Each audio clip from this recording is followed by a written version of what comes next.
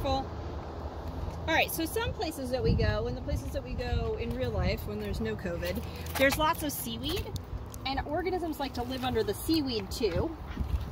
So if you move it aside, sometimes you also need to, um, so let's actually identify this seaweed here. You can see it, it's very kind of red-brown in color, um, and ruffly. Roughly. And there'll be some questions about whether or not it's edible. And then this is a very, Evelyn, look at this. This kind of seaweed is like the most prevalent kind of seaweed that there is. So it's everywhere. And it's kind of drapes over all the rocks and it makes a really great habitat for organisms because it's wet some of the time. And then it's dry some of the time. Yes. It's but dry it keeps and it, wet. It keeps them sort of happier longer. And it's dry and wet at the same time. And you can to keep All right, so it's yeah, and then you'll see. I think in some of the lobster videos. Oh, here's let's do another one. Here's a third type of seaweed. Hey, let me take the video. number three. All right, seaweed. Yep, third type of seaweed. Wait, Mom, I found another seaweed. That's the same type, Ruby. Nope, you're right. She's right. There's more of it here.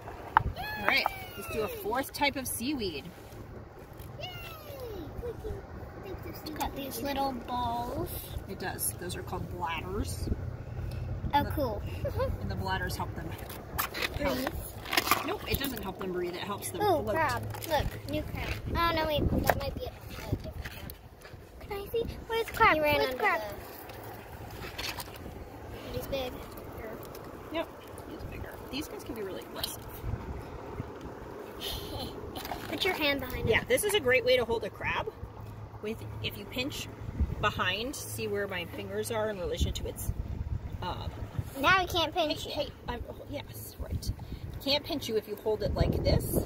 Um, all crabs, if you hold them behind their back legs and pinch them. Evelyn, try Wait. touching it so it is in focus. Try touching the crabs. so the crab is in focus. So if you pinch them like this, and they these are really beautiful actually when you look at them. I'm trying to get it to not pinch me. Look at how pretty its shell is. Oh, there it goes. Okay. And I will. Bye. No, Quibby, come me.